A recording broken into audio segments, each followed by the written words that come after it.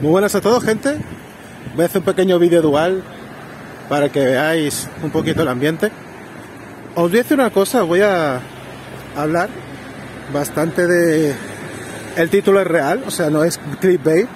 Se ha filtrado de Flash. Y, o bueno, si queréis, aspectos de la trama de Flash que vamos a tratar aquí, ¿vale? Este vídeo va a tener spoilers. Ahora tú te lo puedes creer o no, da igual. Vale, ¿qué está pasando? Uf, esto es duro. Sabéis que lo hemos dicho muchas veces que van a modificar, o sea, ayer, ayer hubo una proyección de, de Flash, se la enseñaron a periodistas, a gente, whatever, es oficial, lo han hecho, ¿eh? ¿Qué ocurre? Bueno, que en ese ámbito ya se ha filtrado muchas cosas. Pues que The Flash sirve para rehacer el universo de CU. Y es curioso porque Ben Affleck ahora no muere. Vale, bien. Ahí bien, ¿no? Ok. Han hecho canon la Justice League, pero la han hecho canon en otro universo, en otra tierra. Vale, bien. Bueno, ya está. Si van a tocar el tema de las tierras infinitas, que se supone, se supone que quieren ir hacia allí, vale. Digo se supone porque Matt Reeves ha dicho no, mi Robert no se mezcla con nadie. Y el Joker de Joker Infinite tampoco. Pero bueno, se supone que es tierras infinitas. Vale. ¿Qué es lo malo? Que ya han confirmado que en esa tierra de Zack Snyder, pues como que sea como sea, de una forma u otra, no hay un Superman. O sea, eh, ¿os dais cuenta de la estupidez? Henry Cavill al carajo, no le quieren, tío. ¿Por qué mierda no quieren a Henry Cavill? Es absurdo, es estúpido. Pero bueno, es Warner. ¿Por qué digo esto? Porque vamos a ver. Si vas a crear una tierra de Zack Snyder, déjalo allí. Aunque no le uses, déjalo allí. No, no. Borrado de la realidad para que Supergirl sea el icono kryptoniano de Warner. No lo entiendo. Tío. Si tienes varios Batman, ¿por qué no puedes tener varios Superman? O Superman y Supergirl. Es que es horrible, tío. Por donde lo miréis, es horrible. No tiene maldito sentido, ¿no? No, no, no se puede defender. No se puede defender de ninguna manera. Pero bueno, pues eso es la gran filtración y ese es el punto, tío, que no se entiende.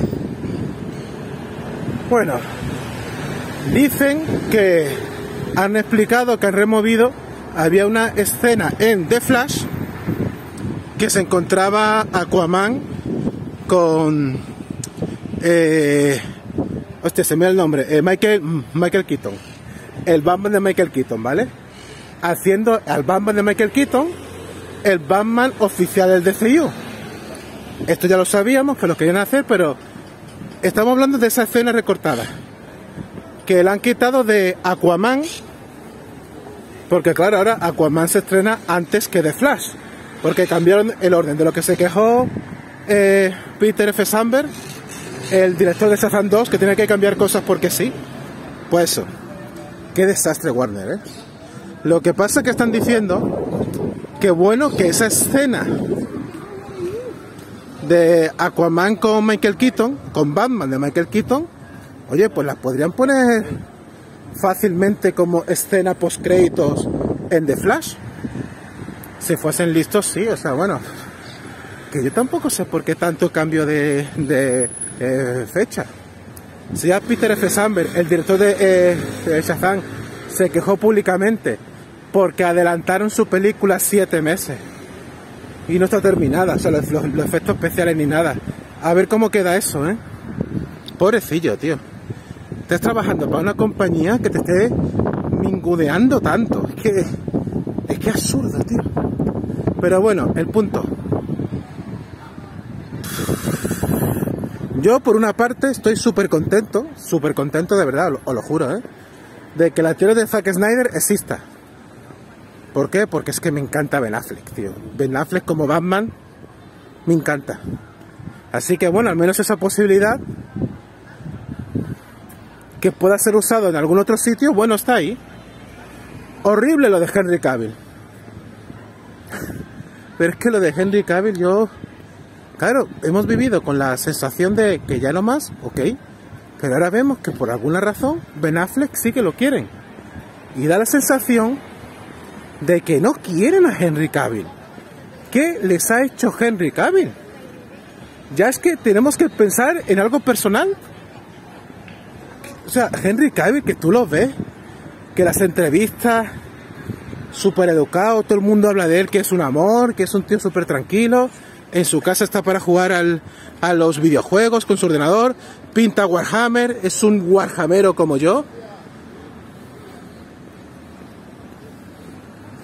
Y se lo han cargado por alguna razón, no, no, no lo entiendo. No sé si algún día se filtrará o algo, yo qué sé, que, que esto ya suena personal. Ya suena personal, o sea, no, no hay por dónde cogerlo. De verdad, yo no entiendo nada. Yo, si alguien se, se atreve en los comentarios a intentar imaginar por qué no quieren a Henry Cavill, pero claro, muchos pensábamos que bueno, ¿será que quieren quitarse a Zack de, de, de, medio? No, no, no, no, no, no. No, no, que le han hecho una tierra para ellos. Para la, para la Justin League de Zack Snyder. Que se supone que esa tierra, post-crisis, del final de la Justin League, esa, esa tierra dominada por Darkseid en plan desierto, que salía el Joker de Jared Leto, jiji, jaja. Eso se supone que es otra tierra. ¿Y por qué no metes a Superman por ahí? A Henry Cavill. No tiene ningún sentido, tío. Pero ninguno, si es que. No. Tendría sentido si te cargases todo, pero si lo mantienes, ¿por qué quitas a solo a Superman? De verdad, yo. Yo mira que yo he sufrido porque yo soy mucho más de que Marvelita. Y mira que amo a Marvel, siempre digo lo mismo. Pero es que no entiendo, tío, de verdad. Con lo fácil que es hacer películas de superhéroes. Que estén conectadas, digo. O sea, dice, no, es complicado. ¿Qué carajo? ¿Qué carajo? Tienes todo el margen del mundo. ¿Por qué? Porque si quieres unión, haces lo que te da la gana. Y con rodar una escena de, de 30 segundos, post créditos, ya tienes la unión.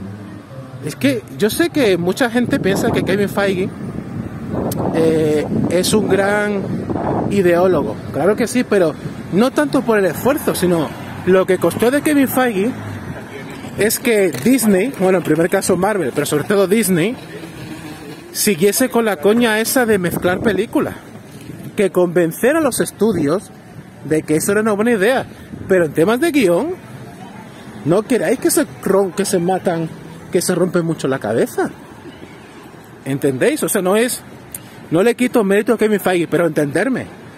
Que el mérito real son los huevos de Kevin Feige de querer hacer esa idea, porque era un planteamiento bastante novedoso y sobre todo a la escala que lo ha planteado. Pero que tampoco la locura que tú digas, ¡uh!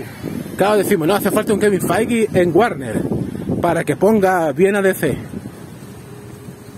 Lo que hace falta es simplemente un mínimo de coherencia. Si ya lo ha hecho la competencia y se ve que saca dinero y el público está contento, es muy fácil hacerlo. Pues nada. De hecho, eh, Zack Snyder lo estaba haciendo con Batman Superman, Deathstroke, eh, Lex Luthor, estaba en esa línea.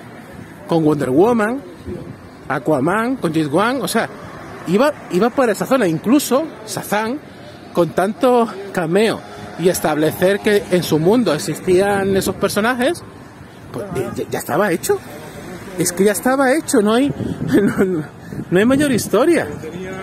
Pero nada, parece ser que en Warner no aprenden. Pues nada, gente, dejadme en los comentarios qué os parece. Mirad qué lujazo es vivir aquí, es precioso. Y nada, sigo yo haciendo ejercicio. Un saludo. Adiós, os quiero. Dejadme en los comentarios qué pensáis todo esto. Warner, otra vez. Otra vez.